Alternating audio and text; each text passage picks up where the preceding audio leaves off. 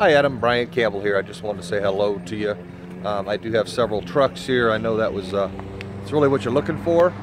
Um, and I know you're concerned about the value of yours. So if you could just give me the VIN number, the miles on it, maybe uh, let me know a little bit about the condition. Um, I certainly understand the position you're in and um, I'll do everything I can to make sure this makes sense to you. Um, and also know you don't want to come here unless we can figure something out. So I'd be glad to help you. Bryan Campbell, 330-697-0425, Columbiana, Cadillac, Buick, and Chevy. Thank you, sir. Have a great day. Goodbye.